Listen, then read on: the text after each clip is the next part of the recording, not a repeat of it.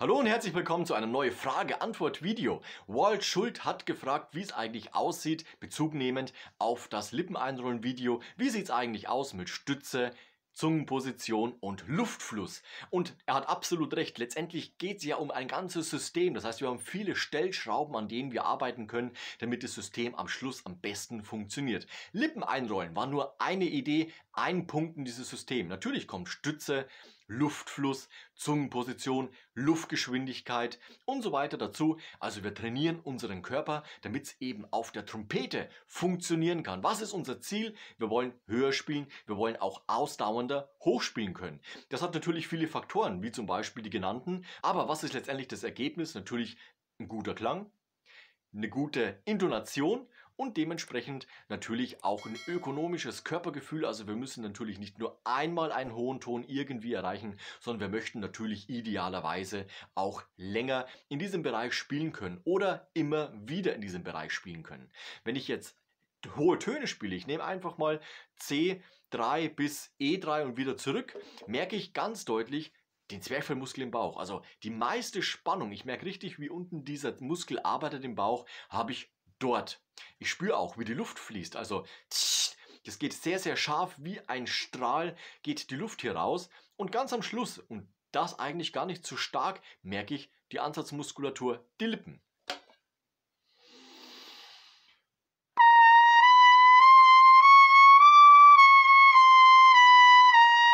Und am stärksten merke ich den Bauch. Das war jetzt in dem Fall auch wieder so. Also ich möchte natürlich nicht nur einmal da hochspielen und dann ist der Ansatz hinüber, dann bin ich platt und fertig für den Abend, sondern es geht ja darum, dass wir unseren Körper trainieren, Körper stärken. Und da muss ich halt trainieren.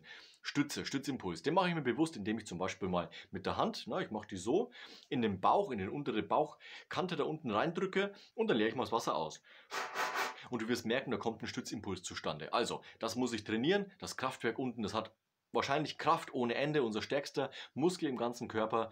Die Muskulatur hier im Mundbereich, die wird wesentlich schneller müde. Also baue ich mein Trompete spielen doch auf der Bauchmuskulatur anhand von diesem Stützimpuls auf. Was bewirkt der? Letztendlich, dass die Luft rauskommt. Und da kann ich natürlich steuern, kommt die Luft schnell raus oder kommt sie langsamer raus. Dementsprechend muss ich da ein Gefühl dafür entwickeln. Dann habe ich die Zunge als zwischengeschaltet zwischen der Lunge bzw. der Ansatzmuskulatur. Also hier kann ich dann auch, wenn es nach oben geht, in eine vorwärts aufgerichtete Position die Zunge bringen. Tai, Tai. Man merkt richtig, wie die Zunge nach vorne macht. Tai, I, also J und I, Tai und die geht nach vorne oben. Was kommt als nächstes? Die Lippenmuskulatur. Also an, mein Ansatz muss stabil sein, vernünftig angesetzt an der Lippenmuskulatur, damit ich eben nicht ins Lippenrot einsetze. Da muss jeder individuell aufpassen. Oder du fragst deinen Lehrer, das ist natürlich auch jederzeit möglich. Eventuell Ansatz umstellen, ganz klar. Und dann kommt noch das Lippen einrollen, das hilft uns sowieso in der höheren Frequenz immer, denn wir haben weniger Lippenmaterial, was schwingt und dementsprechend kriegen wir auch die höheren Töne raus. Also nach oben gehen bis zum zum E, F und so weiter und so fort. Sollte dann auf jeden Fall gut zu trainieren sein. Starte immer auf deinem Level und baue nach oben aus. Also du kannst auch jederzeit auf G, Ass, A in der Lage trainieren oder auch wenn bei dir unten zum Beispiel das F ein kritischer Ton ist, passt die Übungen und dein Trompetetraining an deine Leistung an und versuche mit der Technik auch ein Stück weit drüber zu gehen, nicht permanent, immer wieder, damit du eben trainieren kannst. Also man muss schon drüber gehen und nicht immer nur in seinem Bereich seiner Fähigkeiten spielen, weil dann wirst du dich dann verbessern. Du wirst deinen Bereich stabil spielen können und den auch stabilisieren können dem Training, aber du musst auch immer wieder drüber hinausgehen.